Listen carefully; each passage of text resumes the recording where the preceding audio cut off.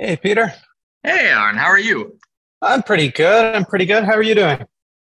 Doing awesome. Thank you very much for for making the time and uh, for sharing for sharing the story of this very cool building. Um, we're, we're sitting here in, in actually one of the one of the classrooms. Of course. Oh, fantastic! All right, that looks very familiar. That looks very familiar. So we're, we're on the we're on the third floor. So which which I don't understand why the main floor is the second floor and the third floor is the second floor and the fourth. It's it's a Carleton thing. Yeah, the the ground floor is level two hundred, and then yeah, it's it's it's a unique kind of uh, numbering system. Well, without further ado, I will turn my my laptop and camera around here, um, so you guys right. so you can the people you're talking to a little bit. Let's see if we can get excellent this crowd here. Hello, everybody. Good to see you want to say welcome to the building. I'm sorry I couldn't join you guys today. Um, just a few too many things that were that were happening, but I did want to share the story of of the EDC building, the, the Engineering Design Center at, at Carleton University. And so first off, I wanted to, you know, just introduce myself. I'm Arne Suraga, an associate at uh, Diamond Schmitt Architects, um, and I was the uh, the project architect for for this building. So I want to to welcome you all, um, and also to thank you know Peter and and GlasCurtain for for hosting this event. It's it's always you know a proud moment when when you know a building you've you've worked on for years is uh, is featured and and people from the industry come through to to see it and and, and are excited about it. So that's definitely a, a very big very big thank you to to to Peter and, and team for for organizing all this. Of course, Carleton for letting us us host uh, this event today. So without further ado, what I I really wanted to do today is kind of walk you through you know the the design of the building the context and the program i believe you've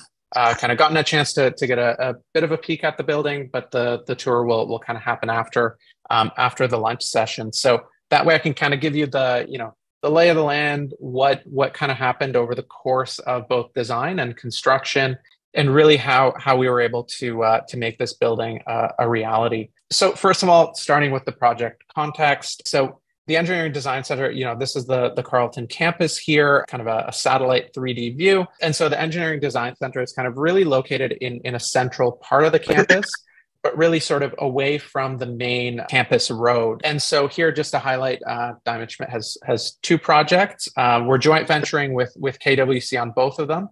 Um, one is the Engineering Design Center, which is now now complete, and there's the new student residence, which is now under construction, and uh, some of you may have actually driven by it uh, on your way to uh, to the project here. And so, you know, this is this is our site, and this is where where we were um, asked to to to build this building, and it's uh, you know directly connected to the Mackenzie Building, engineering building from the the 1960s. Uh, you know, a, a relatively mid-century vintage, and that that posed a lot of challenges in terms of construction detailing, logistics um, and making sure that we were really building a robust uh, thermal envelope, the best that we could do, considering for the fact that really with the, the expanded configuration, uh, 50% of our of our building envelope is really connected to the Mackenzie building. And so what you're seeing here is a highlight of where we started in, in 2019. So the, the project design started in 2019. And so really all, you know, the entire construction period happened through COVID. And so that was that was a challenge in and of itself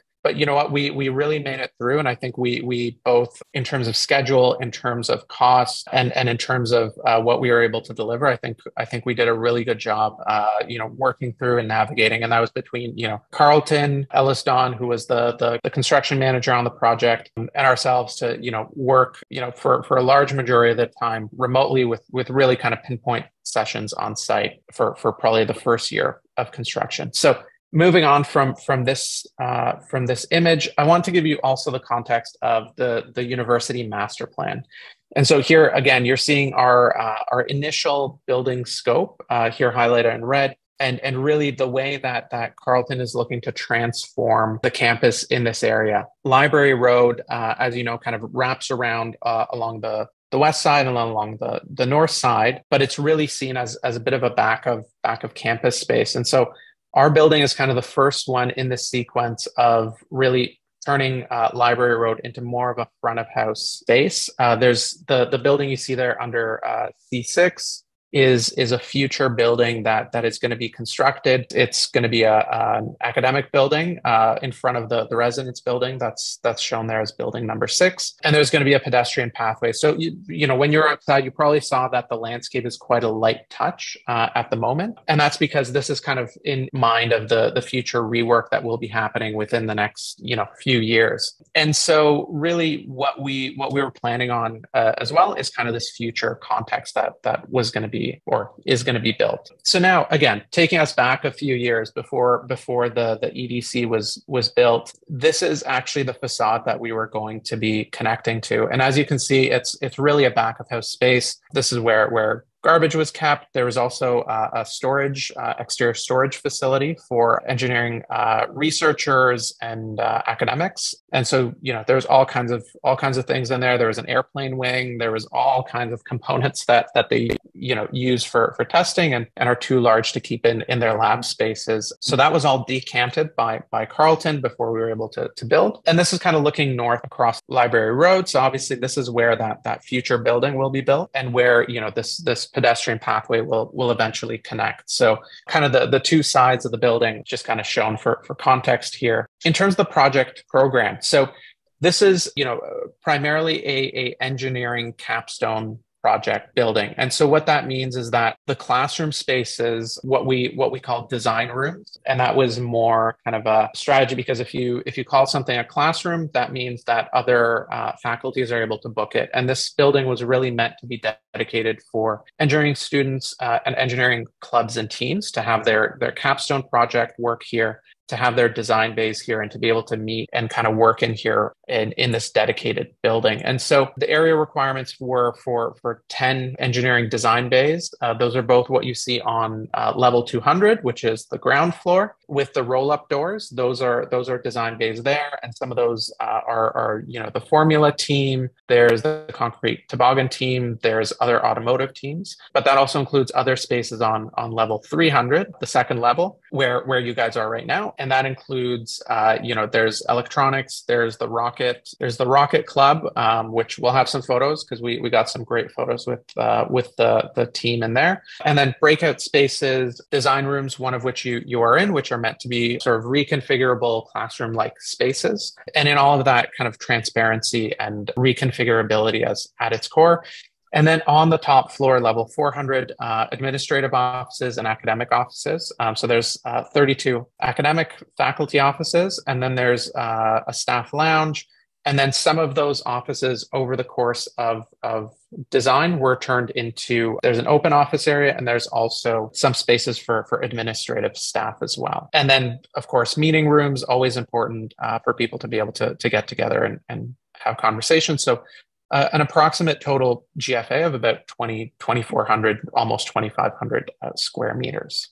And this is uh, just another another quick snapshot of, of our areas, kind of split between between levels so going to be on that kind of the, the, the technical stuff. We started design in in june of 2019 and this is kind of looking at the initial scope of the building. And what you can see is that it's it's about a third smaller than than what we ended up building than the the 2500 square meters. And really what we were what we were looking at here was keeping the the courtyard space along the the east side of the building here. And our entry would have been along the east side of the building as well uh, walking in through through a vestibule into kind of a, a, main atrium space. And this is this is the massing here. Uh, it was still three three floors at that point, and really looking at you know the ground level, which is very much kind of in keeping with what we've done now. Although I'll I'll, I'll show you the the current plans because as you can probably tell, this is a little bit different um, than what we've what we finally built. But the main concept really being keeping the ground floor as open as possible, and and having these design bays that opened up into the atrium, so that when there's events at the start of the school year or or at the start of a semester. They can open up the building, they can have events, they can open up the, the overhead doors, and people can come in and see what, what the engineering clubs and teams are doing. And that's also a big part of how the clubs and teams actually get people engaged because they come in, they see the work that's happening, and they want to they want to be part of these these clubs and, and teams. So really the ground floor, keeping it quite open, quite transparent, um, but still having these these design bays along the north. And then moving up to the second floor on level 300 here, you know, really kind of maintaining both a view down below. Um, so so introducing the central atrium that would allow for daylight to come in because one of the challenges here is that really our main building face is along the north and so you know there's not a lot of southern daylight that we can really get so we thought okay why don't we bring in an atrium uh, glaze that over so that really over the course of the day we can we can bring in a lot of daylighting sort of deeper into the floor plate and another one of the strategies you know we worked with with Peter and his team with with GlasCurtain is also to have large windows along the perimeter, but very high performing windows. And so we're we're able to kind of bring in a lot of daylight into what is a, a fairly rectangular building with in this you know in this early iteration with one of its faces completely blocked from from any daylighting. At this point, when before the building expanded, we still had all of our designer. We we didn't have this administrative and faculty office component, so we actually had design rooms and design bays going all the way up to to the third floor. And this is this atrium concept, which uh, which we thought was a really strong move, having that feature stair uh, climbing up through the middle also meant that if there were events, if there were other speakers coming in or things like that, the atrium could actually be reprogrammed so that people could overlook down. Um, they could sit on the stairs and, and they could have these kind of informal events in the atrium for uh, students and clubs and teams and, and those sorts of things. So then just kind of going quickly through the initial concept for the facade again, here's that that image around the uh, project massing, the early project massing, and really the idea was to have a robust material at the at the base level in the touch zone. And so that's where where we introduced the the white precast. And then up above we wanted to have more of a soft reflective material to really kind of lighten up the the building up above and introduce you know a large amount of glazing and kind of also reflect what is the the patterning of the existing mackenzie building to relate it back to sort of what we were connecting to and what what this building was a part of. But what we actually did is we inverted the patterning on the Mackenzie building. So the Mackenzie has you know very very narrow windows with these uh, more rectangular, almost squarish proportions of, of brick. And in our case, we wanted to flip that around and do the larger proportions of, of glazing with the smaller proportions of solid. And there's also this very very strong horizontal banding at each level. And so we also carried that through in our patterning. And so I'm going to talk about that a little bit later in in, the presentation. And again, here defining the, the vertical fenestration divisions and the horizontals, and really coming up with this concept uh, that that you see even even to this day. We had you know multiple other options, but this is really the one that everybody felt was the strongest it kind of carried through the the horizontal banding from the existing building and then brought in this this great rhythm of windows that was very regular worked with the structural grid and really provided something that was quite clean. It had a very, very simple rhythm without overwhelming uh, the existing building or, or trying to be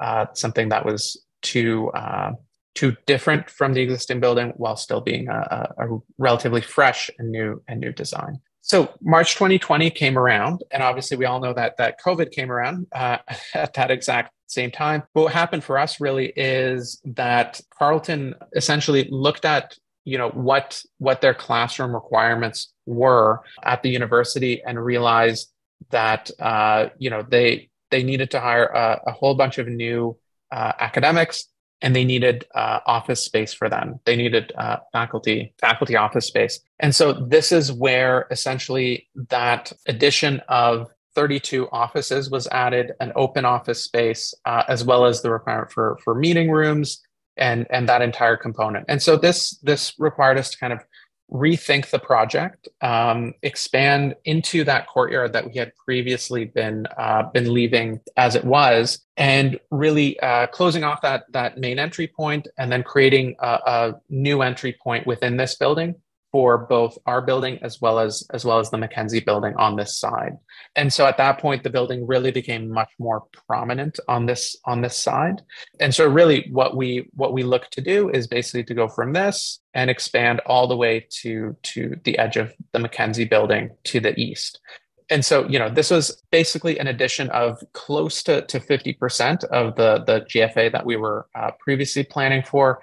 It also meant an expanded landscape scope, uh, whereas previously we had been really keeping to that courtyard. Now we were kind of looking to to expand into the front um, realizing that it was going to be redesigned in the near future, but um, it meant that that we would still kind of uh, take over a bit of the parking to provide benching and and and landscaping for the occupants of the new building as well as for for the Mackenzie building. We brought in a, a Para Transpo stop at that point um, because previously the Para Transpo vehicles would actually come into the parking lot. So as part of this changeover, they would no longer be able to use the the parking lot for for turnaround reasons. So we put in a new Para Transpo stop and we we introduced the the storage yard on the side as well and so this is you know a, a quick rendering of, of what that initial concept looked like um, and basically how we kind of uh, took over this whole block so really the building did become much more prominent along this side and, and, and much larger. And we really look to introduce kind of a larger entryway here. And so here you see on on the site plan again you know larger zones dedicated to both uh, Para Transpo to accessibility because Carleton's uh, accessibility count in this area was was a little bit low, if I recall correctly. So the thought was, you know what, why don't we why don't we make most of them AODA type A and B, um, and then Carleton can can obviously decide how to divvy those up if all of them need to be that type, but at least they're sized for for that. And so when we move into uh, into the interior of the building, we really start to think about okay, what is the the expression and what is the language of the of the interior? And so because we were building a, a steel building right next to a, a very heavy concrete building, we wanted to really use that as a showcase for the design. We realized, you know, the finishes had to be quite robust. They had to be pretty simple because this was a building, you know, that's going to get knocked about. You know, one of the one of the big things that we we talked about with the facilities people is that you know there's going to be things being carried in you know people are going to knock into the block walls and things like that they want to be able to just repaint they don't want too much drywall they don't want too much uh, kind of soft finishes on the lower levels. So we thought okay what could really be a nice feature um, within this space while keeping everything else kind of muted and, and minimal and that's the structure. And so the idea here was to really uh, have kind of this this layering gradient of, of yellow tones. And i know we've all seen the you know one of the one of the um, interesting aspects of it was that there's uh, on any university campus you will see that the the engineering sculpture that's always there that kind of shows all the connections and it's typically you know a, a, very very bright yellow. So we thought okay why don't we mute that yellow a little bit but at the same time why don't we use that as inspiration? Because we're, we're hoping that you know we knew we, we were going to have cross bracing. We knew we were going to have various types of connections within the building. And it was going to be occupied by by engineers some of which are structural engineers. So why not use that as as an example of uh, you know and, and a highlight within the building? And so this is kind of you know early early design imagery kind of showing off that that structural look and and how we really wanted to use that as as a feature and then have this you know really wrapping the the atrium in this colored structure and then having the second feature being the the stair and having that kind of wrap through the the atrium space which could then become a, a congregation space and really quite a quite an activated bright bright building especially when, when combined with with the skylight above. And so this is one of the one of the images here kind of overlooking uh, overlooking the atrium space here um, and I think we were quite successful in, in achieving that look here, you know, really trying to minimize uh, any of the, you know, you can see sprinklers along the, the existing building because that did need to have a one hour fire rating. But what we really wanted to do was embrace the fact that we were connecting to this existing building and make that make that a feature as well. So um, we cleaned up the the facade there. We added the fire protection that was required um, and really uh, really look to not hide you know what what is quite an interesting facade on on the Mackenzie building as well. And then in terms of uh, the remaining finishes, again, very very muted color scheme. You know, floors kept to to polished concrete because we knew they had to be hardy, they had to be uh, quite resilient. We didn't quite have the budget for epoxy. There was a discussion at one point to put in uh, epoxy flooring, but the budget wasn't quite there. So we you know we kept it to to polished concrete with uh, a future potential if, if needed for for epoxy to be installed. Walls overall on, on level 200 and 300 concrete masonry units, uh, you know, painted white, and that any of the uh, door surrounds, any of the doors and things like that, just keeping it to uh, a couple of shades of, of gray with white ceiling so that they're kind of reflecting back the light. And then for the feature stair, this was again very much keeping it simple, light, but making this, you know, a very elegant piece within within the atrium space. So putting in a glass guard, uh, a, a, dark gray stair stringer that just kind of wraps up and around, integrated lighting uh, along the bottom with drywall finish to to make that stair look quite light, stainless steel thin handrails with a, a, really kind of custom solution to be able to make that quite quite light and quite uh, quite sharp. We believe, you know, stainless steel, tactile indicators, and all that good stuff. And I think again, we were quite, uh, I, I, believe we were quite successful in making this into uh, a, a, great feature stair that you know in a in a building that's very very structural. It's it's really this kind of floating floating element as it goes up. The light on the underside also, uh, you know, is is dual purpose, kind of uh, gives it that that brightness and, and, and a modern, very modern look, while also lighting up the, the areas down below for when there's events and, and things like that. So this is the, the revised floor plan design. So as you can see, now we've kind of really reoriented the entryway into uh, that central uh, central portion. So when you come in, you have you know direct access to the stair. As I mentioned, we closed off the entry to the Mackenzie building. So this really meant that a lot more people were going to be using this entryway even if they were going to the Mackenzie building. And so really there's there's kind of that that spine to the existing corridor as well as the pathway up to the upper levels up the feature stair. And then the east-west direction, we actually have an overhead door which you may have seen um, and that allows for, for larger deliveries to those design bays to happen off the west side. Um, students can open that overhead door and they can actually bring in a vehicle uh, into the building. And actually, in in bay number four, when I was last there about a month ago, there was there was uh, a couple of cars in there. So we're very happy that that's that that's working well and, and successfully for the occupants. And then you know a lot of breakout spaces, informal spaces for people to to be able to uh, to meet do homework, do do other uh, other activities, and basically meet within those within those spaces.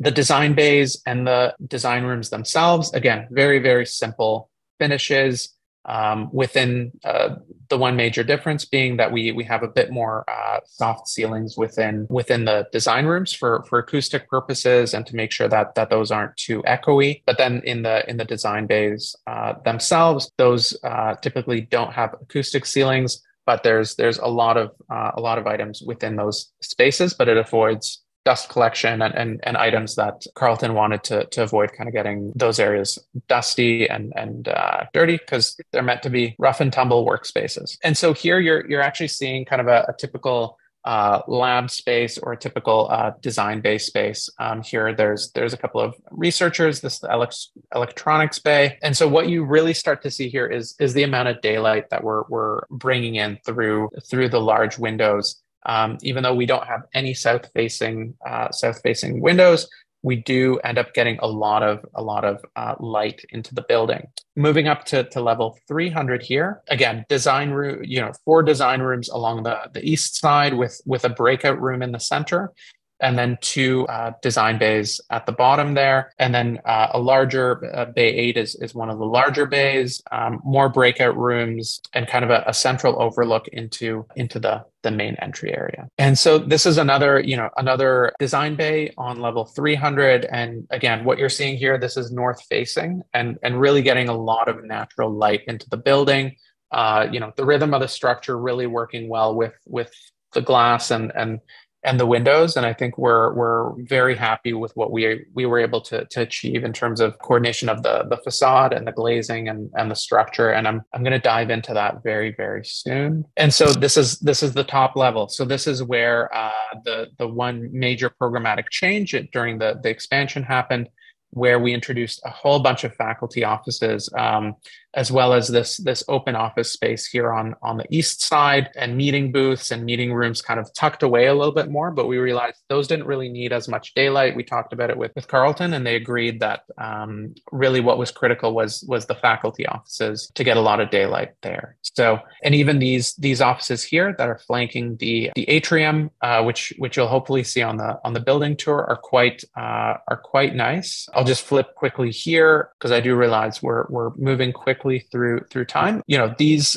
we ended up having to put up these privacy screens here, but as you can see, these these are fully you know landlocked offices, and they get a lot of daylight through through the atrium. So we're quite happy with with how that worked out as well. And then this is an example of the the elevator lobby here on the on the left. You know, large large expanse of glass overlooking what's right now Library Road with with some trees in the background, but what will be you know both a, a mix of the new building uh, and some revamped landscape in in the near future. And of course, just a couple of photos of the the staff lounge on on the right and the the open office area on the left hand side here. And so, getting into the the facade of the building, this was a very very interesting uh, process, and and I, I think we went through a lot, kind of a lot of detailing work to make sure that this, you know, we got the the facade rhythm working really well and, and i hope you guys are, are able to take a closer look when when you're outside today. So you know there there were challenges um, in terms of connecting to an existing 1960s building. Obviously Carleton was interested in in making this addition as high performing as we could realizing that you know we were connecting to to uh, a rather old building that that you know doesn't have a lot of air tightness control. Uh, you know it's uh, admittedly almost no air tightness control. And so there was also uh, a lot of seismic movement differences between our building being in steel and the existing building being in concrete although a steel building was stipulated within the, the design brief. So we, we talked about switching to concrete for a little while, but really the preference was to go with, with a steel building. So we had to manage that with, with our seismic movement because, you know, at, at the ground level, there was, uh, you know, very, very little movement, about 50 millimeters. But once we got up to the top level, we had to account for 150 millimeters of movement. So in our fire separation, we actually had to have our expansion joints be able to move up to 300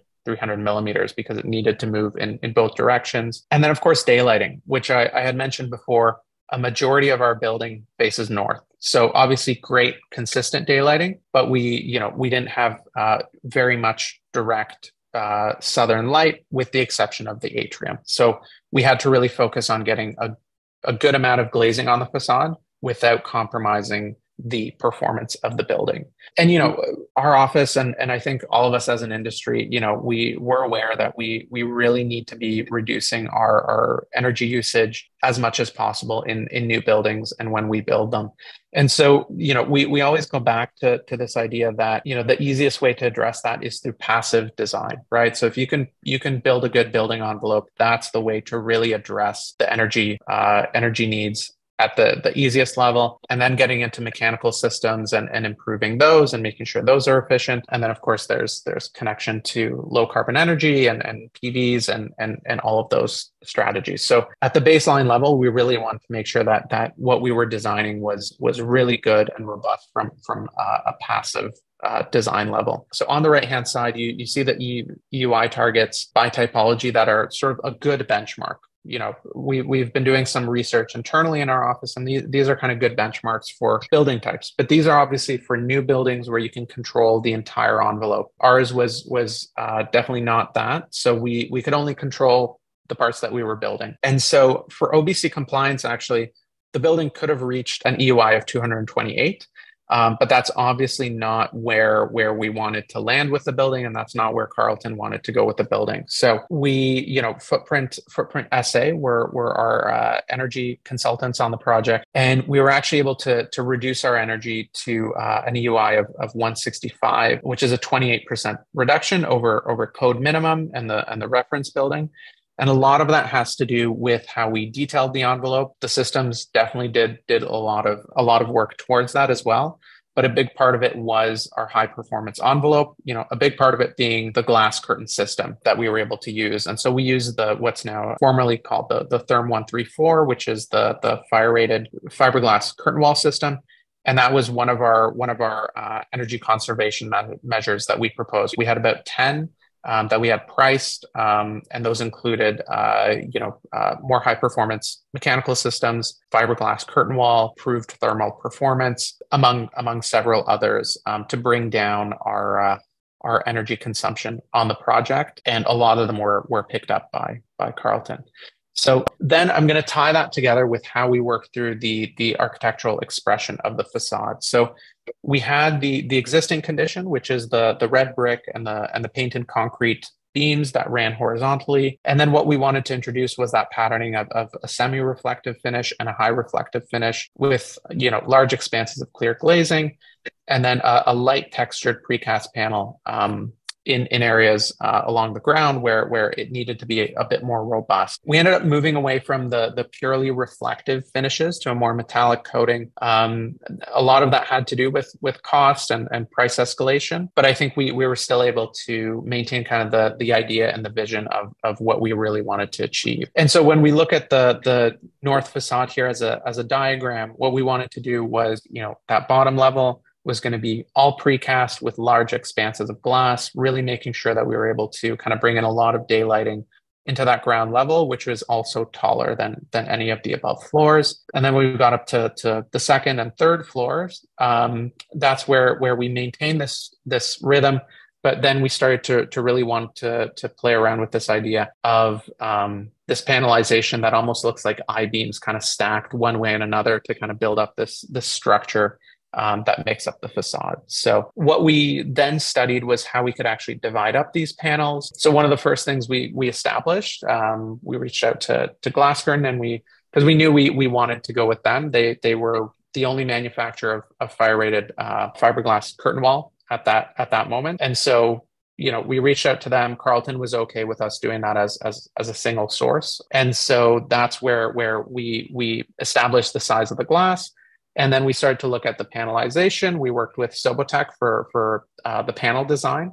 Um, and so what we what we were able to establish is both the panels and the, and the glass size. Um, in terms of the panels, um, Flynn ended up ended up uh, winning the contract for the the panels themselves, and the precast was by by Res. Um, but really, it was it was a process where everybody kind of worked together to uh, to find the right panel sizes and make sure that we were able to to maintain this language uh, around around the facade. And so when we extrapolate that to the full to the full building, um, what we end up having is this very very regimented kind of strict structure to it and, and nice rhythm but it really it really adds something quite resolved to it that that it's you know working in, in such a such a perfect rhythm across the facade um, and it was usually sort of a, a, a, one, two, three rhythm. So we had three three widths that we worked with, and that and that allowed us to kind of work with uh, both the the structural layout, the room layouts, as well as the the facade.